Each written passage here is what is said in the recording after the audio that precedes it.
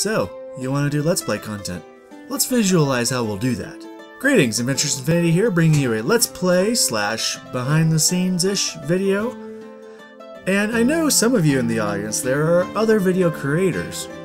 I know because I found some of you through my comments. This video is going to be directed towards those of you that are new to this sort of thing and want to know the general idea of how to do like a Let's Play video. And how we're going to do that is I'm going to walk through my usual workflow. Now let's get started. The first thing that you're going to need to understand is this is going to take at least some level of both time and money investment. That said, no amount of money is going to be able to get you the practice in order to improve. For that, you simply need to do it. Now with that said, let's get into my equipment. First thing we're going to need is some way to capture the game that we're playing. For myself, I use the Hauppauge HD PVR2 Gaming Edition capture card. And this allows me to record from my console and has separate leads going to both the computer and the display that I want to play it on. And then I use Hauppauge Capture here to be able to record from the console. If I wanted to capture a game directly off of my computer, I tend to use Open Broadcaster like I'm using here. Ooh, Infinite Corridor. And if I wanted to add a webcam, uh, I would add my Logitech C920 into the mix. And if I want to add a webcam into the game I'm capturing at the same time, there we go. Open Broadcaster does everything I want in setting up the raw footage. It should also be noted that Open Broadcaster is a open source or free program, and so is this one, Audacity, which is you, which is what I use for my audio recording for my commentary. Now, while Open Broadcaster and my Hauppauge can both input a microphone and record directly into the source, I prefer actually recording my audio separately so that I can clean it up later. This allows me to remove noise, and make any adjustments I need to do in order to increase the clarity of my commentary. I highly recommend recording your commentary separate so that you can take advantage of these same tools. What I am using to record my commentary with is actually a Blue Yeti Pro. But don't fear, you don't really need a $200 microphone. I just got one because I thought the investment worthwhile. When I first started, I actually used the Corsair Vengeance 2100 wireless headset. And this served me well for the longest time. I'll admit I did pay a little bit of a premium in order to get wireless. But I really liked the, the mic quality, and you can find something to start you out easily for like $30, $40. Another device I use is this little thing.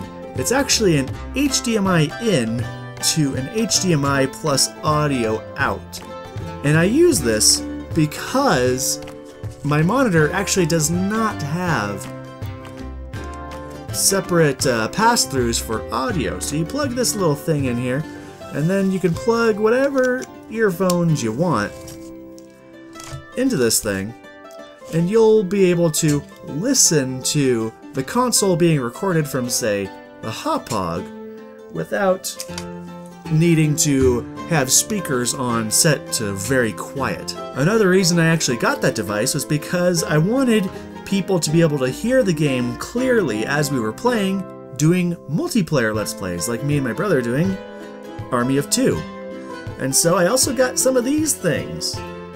And these are simply 3.5mm jack in to multiple 3.5mm jack out. You can get these at like your local Radio Shack or whatever, or Amazon, wherever you can find them. They're pretty cheap. Radio Shack, when I went there, didn't actually have a 1 to 4, which is what I wanted, so I ended up getting 1 to 2 and 1 to 3 in order to jury rig 4. Another thing that you can look into, if you don't have ways of capturing, say, a handheld system, is looking for a way to emulate that system on your computer in order to record it from there. You can take any game you own and say, run it in Visual Boy Advance if you want to let's play a Game Boy Advance game. Of course, one that you own. There are many other such programs like this, like Project 64 or DeSmuME for the N64 or DS respectively, and many, many others. If you actually want to capture from something like the 3DS, which doesn't have great emulators out now, and you want to capture from the device itself, there are a couple that I've heard of. I haven't used myself personally, but I know there is 3dscapture.com and a vendor named uh, Katsukity, which I've heard of before. Maybe you can, maybe I'll leave links in the description in order to point you in the right direction. Next, a minor but very important step to me is actually to plan out what you want to be doing in any particular episode. So, that you go into it knowing what you're going to say, and you can move straight into playing. Greetings everyone, Adventures Infinity here, and welcome back to more Let's Play RimWorld. Today I wanted to try to... Of course, before you start recording, you're going to want to make sure everything is set up properly, and verify that your audio recording program and your video recording is running properly and any other possible tools you might want, such as a stopwatch, whether you have one physically or one on a program here. This is something I use to keep my episodes concise. And of course, after any recording session, be sure to save all your files in a place that you can remember and that you can easily access in order to easily manage them and verify that you actually captured everything. There is nothing worse than finishing a recording and then realizing you were missing a piece. Or closing a program without actually saving what you had done. And of course it is after the recording process that I go into my commentary and clean it up. If you want to know the process I use to clean up my audio, I have a link to a very helpful video both annotated and in the description. It is very clear and easy to follow and I highly recommend it. Now it's time to bring everything into your editing program. I myself use Adobe Premiere Pro from the Creative Cloud now, although I understand if you need a free option. One I had used for quite a long time is actually something called Lightworks. It is pretty hard to learn, but it is free. You can only export in 720p max, but if you need something to get you started, I highly recommend it. Like I said, you're going to have to make at least some sort of investment of both time and money in the long run. But to begin with, any sort of practice you can get will help you out tremendously in the end. And then, trim, edit, place your clips, and line everything up until you're satisfied. I like to make sure that my commentary is outputting at a good volume level, dancing somewhere between negative 12 and negative 6 decibels in Adobe Premiere, and that the game is loud enough to hear comfortably without drowning out my commentary. Insert overlays, transitions, and effects as you see fit. And now it's time to export if I don't have anything else I need to add. If I need an end slate or a thumbnail, I create one in Photoshop. A free program I used for a while was actually GIMP 2, and does most of the things that I needed. Though once I got Premiere, Photoshop came with it and I started using that ever since.